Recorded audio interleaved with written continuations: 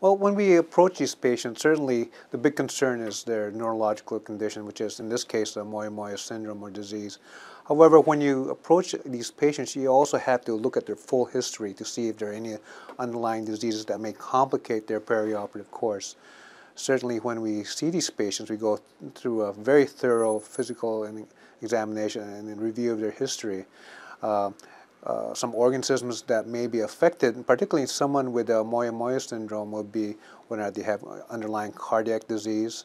Uh, we're here at the Children's Hospital where we take care of a lot of children, a wide spectrum of them, and some of them may have some underlying cardiac disease. So we try to rule that out as part of our history and physical. Uh, another interesting aspect about a child with um, with Moyamoya syndrome is that some of them may have some sickle cell anemia, and that can also complicate the perioperative course. So for those reasons, we try to see them for an extended period of time prior to the surgery to try to discern and to be able to uncover any of these other conditions that may affect their perioperative course. And obviously, whenever you give anesthesia to these patients, um, you have to do a physical exam on them to see if there are any alterations we may need to make in order to deliver safe anesthesia to these patients.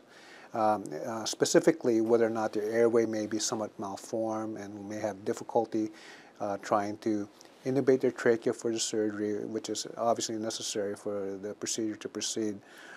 Um, uh, and the nice thing about children's hospitals, we have wide variety of specialists. So if we do uncover an uncommon disease, we can always consult our colleagues in the other divisions, such as, for example, cardiology or hematology, or for that matter, uh, ORL, which where in, that case they can help us with uh, the management of the patient's airway. So we're, we're very fortunate here at Children's to have a huge group of very devoted and highly skilled individuals.